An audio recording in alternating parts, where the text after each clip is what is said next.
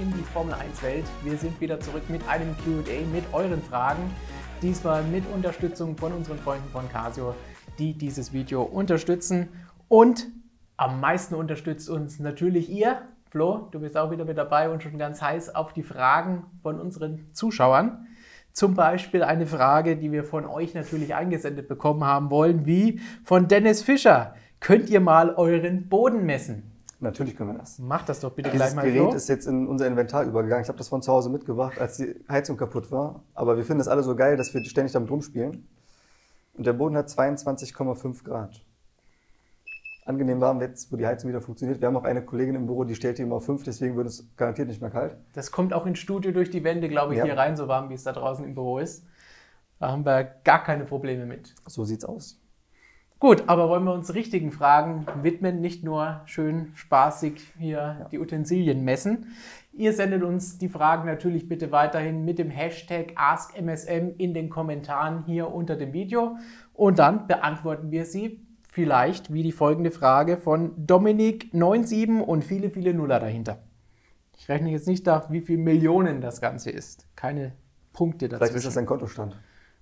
Und dann alles Gute, Dominik. Dominik. Bester User. Absolut. Ask MSM hat er geschrieben. Was ist an dem Gerücht, Hamilton könnte 2021 wirklich zu Ferrari wechseln, für euch dran? Ist, wird medial ja sehr hoch gepusht. Wie seht ihr die Dinge? Mit freundlichen Grüßen, euer treuer Motorsportmagazin, Zuschauer und Leser. Reicher, treuer, okay. Ähm, also ich glaube, da ist nicht viel dran. Toto macht das auch gerne, der pusht immer gerne so Sachen, weil Toto ist auch einer, der steht auch auf Schlagzeilen. So. Der ist auch guter Geschäftsmann. So. Er weiß, es tut auch gut, Ja. wenn man die Konkurrenz mal ein bisschen hochlobt, Ja, wenn man ein bisschen tief stapelt. Ja. ja, ja, der macht das halt gerne. Und natürlich Hamilton macht das genau, Hamilton macht das auch gerne.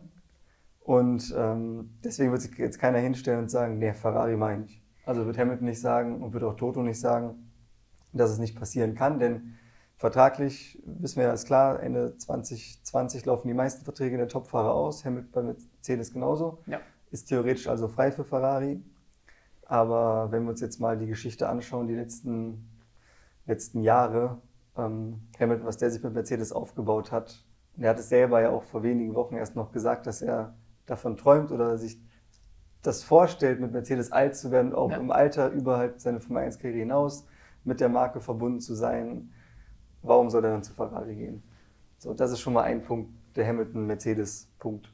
So. Genau, das ist durchaus das, was wirklich am interessantesten bei der Sache ist, dass vor, vor dem Titelgewinn und nach dem Titelgewinn Lewis natürlich ständig danach gefragt wurde und er jedes Mal eigentlich nie irgendwas anderes in Betracht gezogen Ja. hat. Man darf es natürlich nie hundertprozentig ausschließen. Das heißt, Ja, die Variante, die Option besteht natürlich. Wenn er die Chance bekommt, ich meine, man lebt nur einmal, man hat auch nur einmal eine Formel 1-Karriere. So, Ja. Und wenn er den Zug dann abfahren lässt und sagt, ich meine, er ist dann jetzt 35, wird er jetzt im Januar, und wenn er jetzt dann nochmal bei Mercedes verlängert, dann kann man eigentlich relativ sicher sagen, dass er seine Karriere auch da Ja. beendet. So.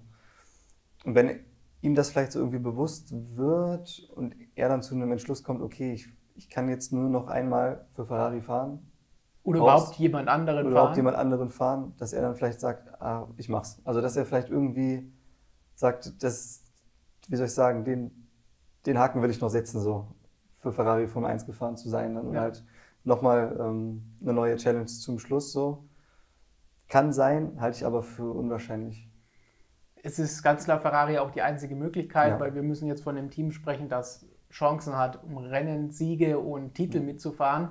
Und da ist sonst nicht so viel zu bieten. Red Bull wird ihn nicht nehmen, weil die haben ihre eigenen Fahrer. Und Egal bezahlen wie. können sie ihn auch nicht, wollen sie auch nicht. Sie könnten es vielleicht, aber sie Ja, wollen, sie, sie haben, es nicht, ihr, nicht ihr Konzept, da Ja. passt es nicht rein, jemanden Ja. zu holen, haben sie schon oft genug gesagt. Ähm, ja, dann noch diese McLaren-Variante, das glaube ich nicht, sie sind noch nicht so weit. Und das einzige wäre Ferrari, wobei niemand weiß, welches Team 2021 vorne sein wird. Das ist Das total sowieso, offen.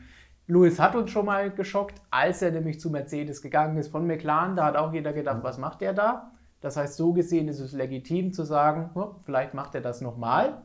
Aber ich glaube auch, dass selbst wenn jetzt noch so ein bisschen die Verlockung da ist, Ja. natürlich hört man sich alles an, natürlich Ja, denkt man über alles nach, aber am Ende müsste es jetzt in Ja. den ersten Rennen, glaube ich, 2020 ziemlich schief laufen, dass er sagt, na nee, das Team, das ich kenne, die alles für mich machen, die mich, mich sein lassen, was für Lewis, glaube ich, das Wichtigste ist. Und ich glaube nicht, dass er das bei Ferrari sein könnte.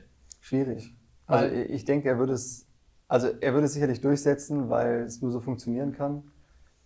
Aber ich, also ich kann mir nicht vorstellen, dass er es macht. Also es müsste sportlich katastrophal schlecht laufen. Ja. Wobei ich mir selbst dann vorstellen könnte, dass er sagt, 2021 ist eh weißes Blatt Papier, dann machen wir es nochmal. Weil er glaubt so fest an Mercedes, wenn die jetzt nach sechs Titeln in Folge einmal irgendwie versagen, dass das Auto halt nicht so passt, wird der nicht sagen, Leute, ihr könnt es nicht mehr, ich gehe jetzt. Also der ist auch loyal, der Hamilton, das muss man sagen. Also Ja. das, das äh, merkt man ihm auch an, dass der, also das, er redet viel, aber es sind nicht alles leere Worthülsen so. Also es ist auch Substanz dahinter.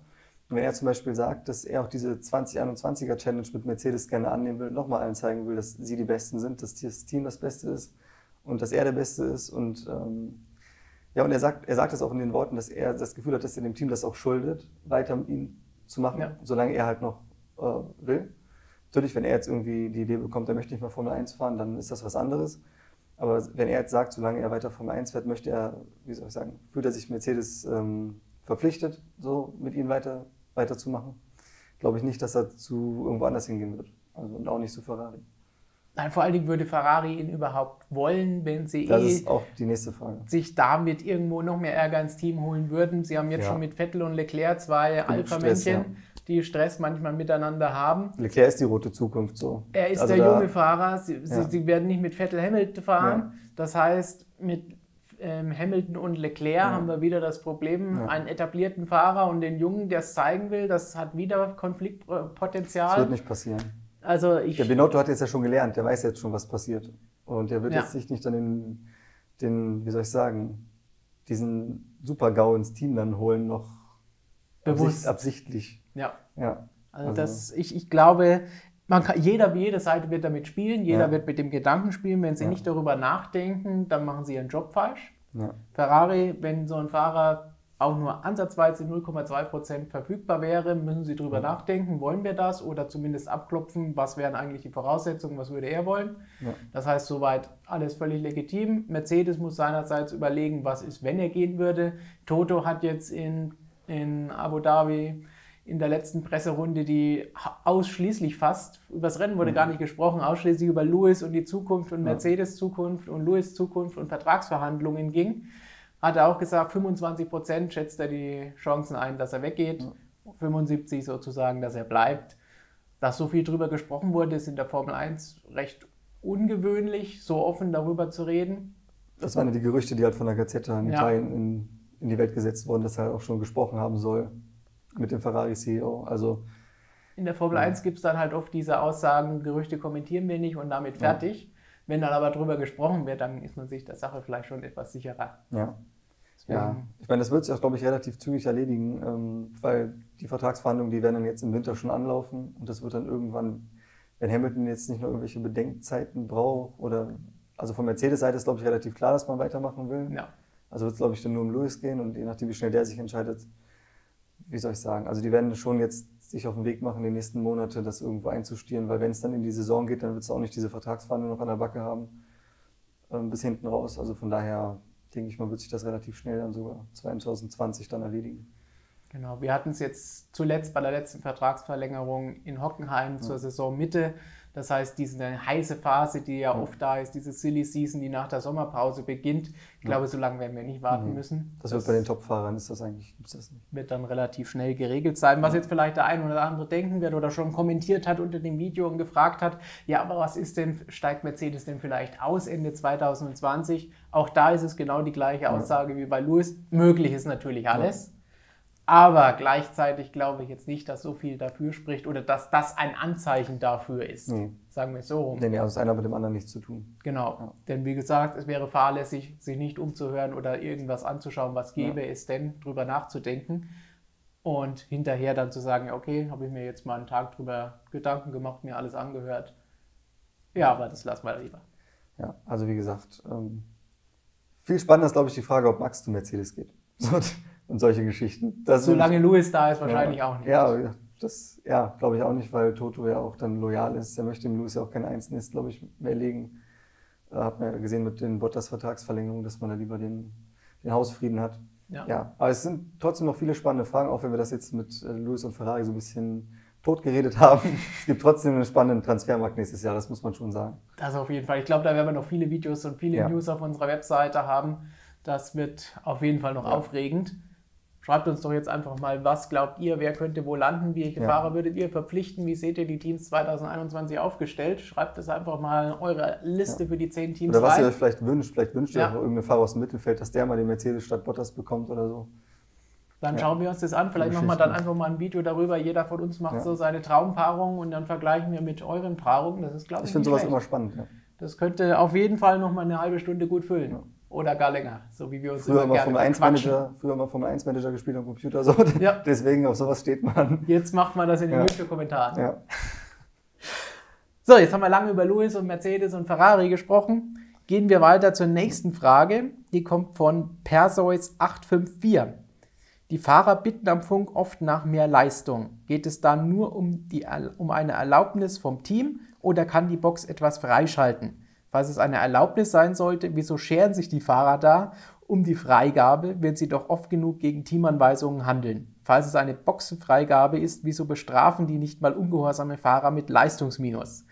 Das sind etliche Bestandteile ja. dieser Frage. Gehen wir mal einfach mal der Reihe nach durch. Punkt 1 war, ob, die, ob das Team das freischalten kann. Genau, ob ja. sie es freischalten müssen oder ob der Fahrer es einfach selbst. Also der Fahrer macht alles selbst weil Telemetrie vom, von der Box ans Auto gab es früher mal, ich weiß nicht, wann es verboten war. Es muss irgendwie Mitte der 2000er, ja. 2005, 6, 7. Es gab diese bidirektionale Telemetrie, ja. wo hin und her gehen durfte. Genau. Das wurde dann aber im Rahmen vieler Regeländerungen ja. verboten. Ja, das ist auch, wie gesagt, über, über ein Jahrzehnt, glaube ich, ja. knapp. Wie gesagt, also das wurde, dem wurde damals ein Riegel vorgeschoben, weil die wussten, dass sonst vom Team her am Auto dann rumgepusht wird bis zum geht nicht mehr. Deswegen, das geht nicht. Also das Team kann da nichts machen. Der Fahrer versteht alles selbst. Aber wie wir ja wissen, die Fahrer, die müssen sich die Anweisungen ja auch holen, was sie jetzt, welchen Schalter sie wie machen müssen. Also ich glaube, die wenigsten werden wissen, wie sie jetzt am besten in dem Moment überhaupt in den Modus kommen, den sie jetzt vielleicht dann haben ja. wollen. Wenn jetzt einer sagt, ich will mehr Leistung, der muss ja verschiedene Sachen berücksichtigen in dem Moment und nicht nur einen Schalter drücken oder so. Das ist kein Turbo-Boost-Button. Ja, also es sind ja mehrere Konfigurationen, die man da teilweise auch machen muss. Und das lassen die sich ja von den Ingenieuren dann auch immer genau ansagen. Dann kommt Strut ja. Mode 5 oder sonst ja, irgendwas genau. und das sind Drehschalter an dem Ding, ja. das sind Knöpfe an und dem wie gesagt, Ding. Du musst dann mehrere Sachen teilweise auch machen. Und ich meine, natürlich der eine oder andere, der ist sicherlich so vertraut damit, dass er es auch selber könnte. Aber du trägst natürlich auch eine Verantwortung. Ich sag mal, wenn du jetzt mal zu viel Leistung fährst, wenn dir der Sprit ausgeht, das gibt erstmal ein riesen Drama. Ja. Wenn du dann halt äh, quasi das, soll ich sagen, also wenn du nach mehr Leistung, Leistung fragst, ist das ja meistens, weil du gegen irgendwen kämpfen willst. So. Und wenn du dann halt äh, da das ganze Rennen dann mit kaputt machst oder vielleicht sogar den Motor riskierst oder so. Also das ist ja auch, wie soll ich sagen, das, das hat ja dann noch einen Rattenschwanz. Nicht nur das aktuelle Rennen ja. betroffen, sondern auch die zukünftigen ja, Rennen. Das hat einen Rattenschwanz dran, so, so eine Befehlsverweigerung, das kann ganz schön krachen. Also das ähm, ist der letzte und einfachste Punkt, glaube ich, bei ja. dem Ganzen. Sonst sind wir schnell bei der Red Bull-Geschichte, wo man sieht, wenn ein Fahrer keine Leistung bringt, ist er weg. Wenn ein Fahrer einfach hier die Dinge verstellt, entgegen der Anweisung des Teams, ja. dann ist er auch weg. Ich meine, ich würde es mir auch wünschen manchmal. Ne? Leclerc in Singapur, als er hinter Sepp herfahren musste und gefragt hat, darf ich jetzt hier voll Power geben? Ja. Und dann sagt das Team, lass es. Und er sagt, nee, ich mache aber auch nichts Blödes. So, das ist natürlich cool und ich hätte mir auch gewünscht, dass Leclerc in dem Moment einfach, weil er auch so der Typ dafür ist, ja. einfach selber am Knöpfchen dreht und dann jetzt Action macht. Das fände ich persönlich auch cool, äh, aber ich glaube, die wissen alle ganz genau, welche Verantwortung sie tragen und leisten sich halt keinen Blödsinn. Sie wissen nicht, was in, dem, in der Power Unit los ist, ja, genau. was genau noch an Reserven da ist, wie ja. viele Kilometer das Ding ja. jetzt genau hat, wie lange muss es noch halten. Da sind so viele Dinge zu berücksichtigen, dass in der Hitze des Gefechts, während du gerade hier mit 300 durch die Gegend fährst und noch ein Auto vor und zwei hinter dir hast, das kann man da nicht einfach also mal so das Risiko ist halt wirklich zu hoch, dann noch so einen Folgeschaden und halt wirklich noch was Schlimmeres zu riskieren, einfach als jetzt nur, dass man ausholt ohne Sprit oder dass jetzt in dem Rennen irgendwas passiert. Ja. Und äh, wenn man jetzt überlegt, gerade bei den Top-Teams, wenn du jetzt das vielleicht in einem Haas oder so machst, wo es ist, dann wird vielleicht Günter Steiner einfach mal wieder schön, äh, schön, schön ein paar Monologe halten, so, die wir alle ganz cool finden. Aber wenn du das bei einem Top-Team machst, so die reißen die, glaube ich, ganz schön den A auf. Wenn ja. du, wenn du dich gegen so einen Toto oder Binotto oder so oder gegen Red Bull, wenn du den irgendwie auf den Schlips trittst, dann geht's ab. Ja, also das wird nicht passieren. Und das ist ja auch ganz normal bei uns oder in jedem ja. anderen Job. Ja, Wenn du die Anweisung vom Chef bekommst, ja. dann solltest du dich da auch daran halten Oder wenn du fragst, kann ich das machen und die. Antwort heißt nein, dann drehst du eben nicht einfach mal den Schalter um. Ein Punkt war noch mit dem Leistungsminus. Genau, das war der letzte Teil. Wieso werden ungehorsame Fahrer nicht bestraft mit einem Leistungsminus? Der erste Teil der Antwort ist, so viele ungehorsame Fahrer gibt es nun mal nicht. Das heißt, ich wüsste jetzt nicht, wann das mal Ja. vorgekommen, würden wir wahrscheinlich nicht Ja, will mitbekommen. wahrscheinlich eh nicht wissen. Ja. aber ich glaube auch nicht, dass das passiert ist und Ja. deswegen das so oft der Fall gewesen wäre. Und der zweite Teil, Leistungsminus, ist ins eigene Ja. Fleisch schneiden. Ja, kann man sagen, das Team versaut sich ja damit selber. Du bestrafst ja deinen Fahrer nicht nur damit, sondern auch dich selbst. Wenn der nicht mehr kämpfen kann, kannst du das Auto gleich rausnehmen. Ja. Also von daher ist das eher keine Option.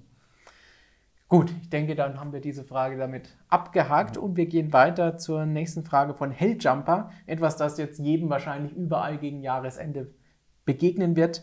Das Jahrzehnt neigt sich dem Ende und er fragt, ein Jahrzehnt F1 ist wieder vorüber. Was waren für euch die Highlights, was die Lowlights dieses Jahrzehnts? Das ist jetzt ein bisschen für uns on the spot ein Ja. bisschen schwierig, die Frage sofort zu beantworten, weil zehn Jahre, da ist viel passiert. Ähm, ja, ich fange vielleicht mal kurz an, weil ich habe zumindest ein paar Punkte, wobei ich hier schon über das Jahrzehnt hinausgestoßen bin. Jahrzehnt geht ja nur zurück bis Ja. 2010 vielleicht noch, wenn wir zehn Jahre in den 2009 mitnehmen. Aber Highlights, Schumis Paul. die, die Monaco-Geschichte ist ein schöner Moment. Ich habe auch einen Schumacher-Moment. Ich habe das Schumacher-Comeback, wo man jetzt wieder sagen kann, Als war solches, ja. eigentlich Ende 2009, fällt das jetzt noch ein oder nicht. Aber 2010, das Jahr war mit dabei. Als dann Bahrain das erste Freitraining gefahren ist, weiß ich noch, war ich nach der Arbeit Freitag im Fitnessstudio, das lief auf jedem Monitor und alle standen davor und haben sich angeguckt, wie der freien Training rausgefahren ist. Das ist Und das ist etwas, war was heute eigentlich fehlt, dass sich jeder für ein freies Training in der Ja. Formel 1, die breite Masse da draußen, Ja. nicht euch Hardcore-Fans, die uns zuschauen oder die wir hier arbeiten, sondern so. die breite Masse schaut sich an, Michael Schumacher fährt wieder Formel 1. Ja. Das war schon ein richtiges lief überall Highlight. NTV und jeder hat es geguckt, einfach Fitnessstudio, auf jedem Monitor. Ja, Das weiß ich noch. das ist Ja. schon was Besonderes. So, an so Gewesen. einen Moment erinnert man sich. Was ich noch mit dabei habe, ist ein Rennen, weil irgendwelche Rennen bleiben immer hängen. Ja. Ich sage jetzt mal das, was Lewis Hamilton immer sagt, wenn er so etwas gefragt wird. Selbst wenn es nur darum geht, sagt dein bestes Rennen oder den schönsten Moment aus dieser Saison, sagt er, ich erinnere mich nicht mehr daran, weil ein Rennen geht ins andere über. Ich weiß nicht mehr, was war denn in Silverstone los oder was war denn dieses Jahr das beste Rennen? Hat er jetzt in Abu Dhabi auch wieder geantwortet. Ich weiß gar nicht mehr so wirklich, was das schönste Rennen, schönste Moment war. Oder noch weiter zurück aus seiner Karriere. So geht es mir ein bisschen auch. Aber was mir trotzdem immer als erstes einkommt, ich weiß nicht genau warum, ist Bahrain 2014. Dieser Kampf zwischen Lewis und Nico. Möglicherweise, weil wir damals nicht so viele geile Rennen, auch 2013 davor hatten, wo zwei Fahrer um die Spitze, um den Sieg gekämpft haben. Ja. Hinten gab es vielleicht mal Kämpfe, aber wirklich um den Sieg, rundenlang über einen längeren Zeitraum so ein Duell, war nicht so wirklich Ja. gewohnt. Dieses Jahr haben wir viele tolle Rennen gesehen, die wahrscheinlich auch besser als Bahrain Ja. 2014 Aus den waren. letzten Jahren habe ich ja natürlich viele frische Erinnerungen. Auch, wo, wir haben ja auch wirklich seit 2017, seit der Regeländerung geilen Ja. Sport gesehen, muss man Ja. sagen. Das Also ist waren tolle was, wo wir bei der nächsten Frage auch noch dazukommen werden, wo wir vielleicht manche überraschen werden mit der Antwort. Aber also Bahrain 2014, Ja. aus irgendeinem Grund habe ich das Ja. im Kopf, hat sich das Ja. eingebrannt. Ich erinnere mich eigentlich immer nur so an, was heißt, an Rennen, wo ein Fahrer eine besonders geile Performance gezeigt hat. Und ich fand Montreal 2011, glaube ich, als Button gewonnen hat. Ja, Das war so ein geiles war auch Rennen. ein Chaos und Ja, weil er halt auch vor allem am Ende, der hätte es auch sagen können, ich meine, der hat ja einen richtigen schlechten Sonntag gehabt und der war ja schon, der hatte eine Strafe und war auch irgendwie schon gefühlt dreimal draußen eigentlich. Und dann hat er am Ende da aufgeräumt, hat den Sepp in der letzten Runde halt erlebt, Ja. so und das war halt wirklich geil. Das war für mich auch das Beste, was ich von Jensen Button je gesehen habe. Ich bin jetzt kein Button-Fan oder so, aber mich hat es einfach wirklich beeindruckt, was er da an dem Tag gemacht hat. Ja. Wie er bis zum Schluss gekämpft hat bei so schwierigen Bedingungen und das dann, das war ein geiles Finale auch, weil du wusstest, der kommt näher, so der, jetzt kommt die letzte Runde und der ist fast dran. Das hat sich halt schön so aufgebaut, das war cool spannend und 2018 Monster fand ich auch extrem geil, als Hamilton äh, Räikkönen gejagt hat, 45 Runden lang, Ja. ohne Pause und dann am Ende ihn erwischt hat. Also das waren so, so Rennen, wo ich mich daran erinnere, halt einfach, Aufholjagden. ja, also der einfach, oder einfach dieses, ähm, wenn das so diesen Charakter hat von einem, von einem Rennen, was halt keine Pause hat. So. Wenn er nicht irgendwo verwaltet gemanagt wird oder so und Ja, taktiert, sondern wenn angreifen. einfach nonstop gekämpft wird und ja, das sind so die Sachen, an die erinnere ich mich eigentlich immer gerne. So. Ja, das waren, denke ich, gute Rennen. Natürlich wollen wir von euch lesen, was sind eure Momente, Highlights der letzten Hier. zehn Jahre. Fernando Fernando. Alonso mit zwei Rädern in Baku. Von Alonso gibt es viele Highlights, so fange ich jetzt gar nicht erst mit an. Genau, ich habe auch als Highlights noch einen anderen Fahrer genommen. Kimi mhm. Räikkönen hat auch Highlights gesetzt, vielleicht nicht immer nur sportliche, aber ja. seine Funksprüche waren ja. Highlights in diesen zehn Jahren. Oder auch sein Auftritt auf der FIA-Gala letztes Jahr ja. war sehr unterhaltsam. Zum Beispiel. Zum Beispiel, also das sind auch Highlights, die so hängen bleiben aus diesen Jahren. Lowlights oder solche Dinge, ja, sind einfache Geschichten, ja. die wirklich sehr, sehr negativ waren in ja. den letzten zehn Jahren, wie Jules Bianchi. Ich denke, das ja. wird allen so gehen.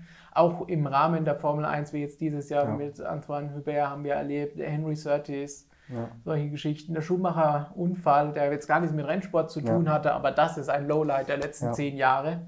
Wenn ja. wir das Comeback Oder die Leute, die, man, die Menschen, die halt verloren, die wir verloren haben, Niki Lauda auch. Also, Charlie Whiting dieses Jahr das, das waren, halt das sind wirklich, wirklich schlimme Geschichten, die auch wirklich ja. schlimmer sind als, oh, das war ein langweiliges ja. Rennen. Mein Gott, ja, Paul Ricard war langweilig ja. dieses Jahr, aber ist es deswegen ein Lowlight der letzten zehn Jahre? Nein.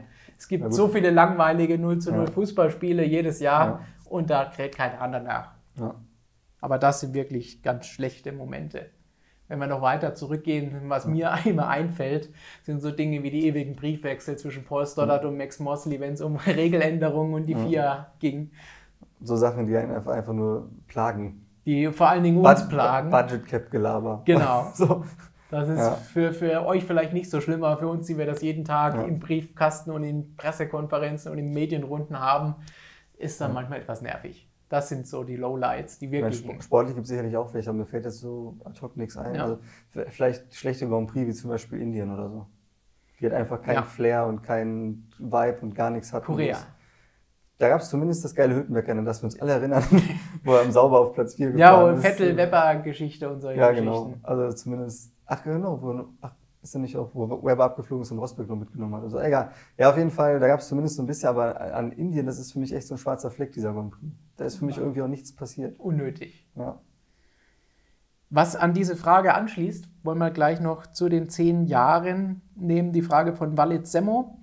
Wie würdet ihr sagen, hat sich die Formel 1 geändert? Die letzten 15 Jahre, sagt er jetzt, wir nehmen 10. Mhm. Ist für euch besser oder schlechter geworden? Und das hast du eben schon kurz angeschnitten. Also ich denke, wir sind uns einig, es ist gut, was wir hier ja. geboten bekommen. Die letzten drei Jahre fand ich super. Man muss sagen, ich als äh, Hardcore-Traditionalist, natürlich vermisse ich V10 und ich vermisse auch, dass die Autos 630 Kilo wiegen, weil ein Formel 1 Auto, das irgendwie vollgetankt 850 ja. Kilo wiegt, das ist für mich, ist das, äh, ja, das ist verboten. Das ist auch die Kritik ja. aller Fahrer. Lewis ja. Hamilton sagt das jedes ja, Wochenende. Jeder, also die, jeder, der so ein Auto früher gefahren ist in der Formel 1, das sind ja die wenigsten, das sind eigentlich nur Sepp und er und Kimi natürlich. Ähm, ja, die wissen natürlich, wie sich das dann anfühlt. Und irgendwo, es hat sich ja nicht alles in die richtige Richtung entwickelt mit, dem, mit den Sachen. So, wie gesagt, Sound ist für mich auch immer noch wichtig. Aber wenn man jetzt mal auf den Sport schaut ja.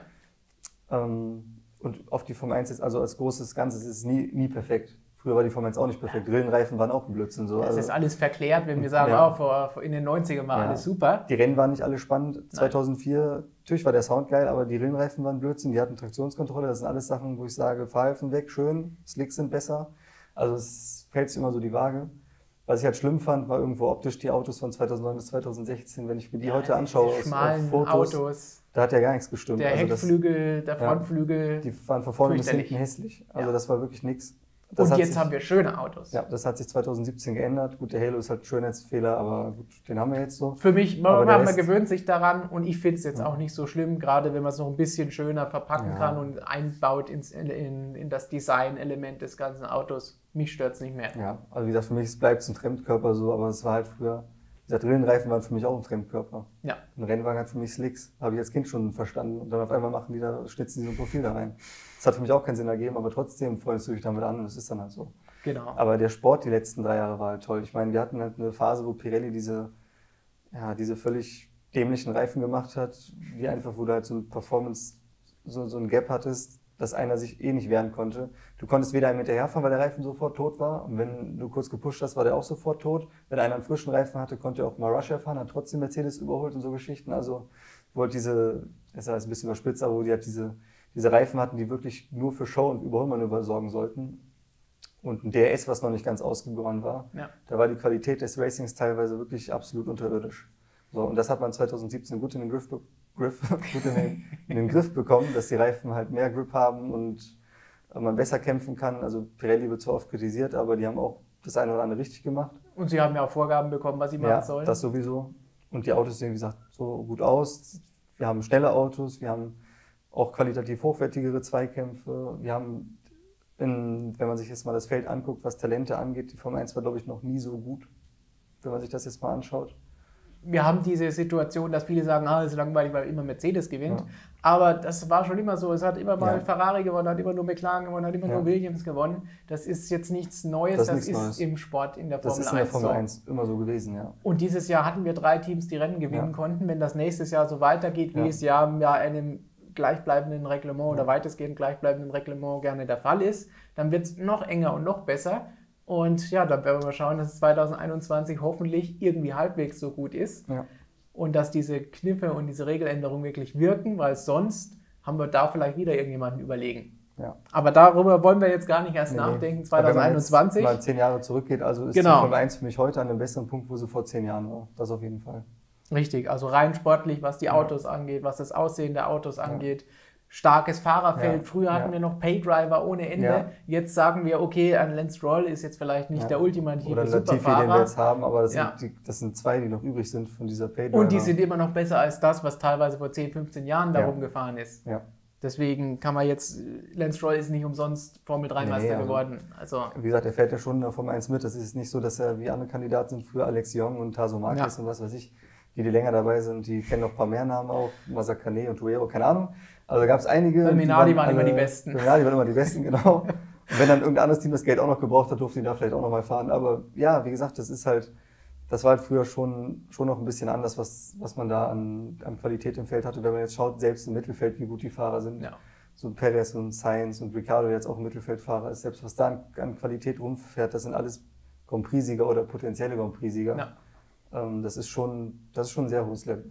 Also das ist wirklich, das sieht man auch auf der Rennstrecke. Also wenn man jetzt mal die Rennen anschaut, die Bank durch, ob der jetzt im Mittelfeld oder vorne gekämpft wird, es ist einfach geil. Also es ist, man kriegt Ja. wirklich geilen Sport auch dann zu sehen. Genau, früher gab es nur Kämpfe hinten, jetzt gibt es Ja. im Mittelfeld und vorne und überall. Das ist schon schön anzusehen und ich hoffe, ihr habt dabei genauso viel Spaß. Und wir hoffen, dass es nächstes Jahr 2020 auch genauso weitergeht. Dann hoffen wir, dass ihr uns noch mehr Fragen für die nächsten QAs sendet. Es gibt natürlich auch nächstes Jahr weiterhin QAs hier und viele Videos. Bis zum Saisonstart haben wir noch ein bisschen Zeit zu überbrücken. Danke an Casio, dass Sie dieses Video unterstützt haben. Danke an euch, dass ihr dieses Video angeschaut habt, dass ihr uns Fragen stellt, dass ihr uns unterstützt, dass ihr Likes, dass ihr die Glocke aktiviert, wenn ihr das Abo, den Kanal abschließt. Natürlich vielleicht auch unser Heft abonniert und euch dafür interessiert. Ja, und dann freuen wir uns schon auf das nächste QA und viele lustige Videos, oder? So sieht's aus.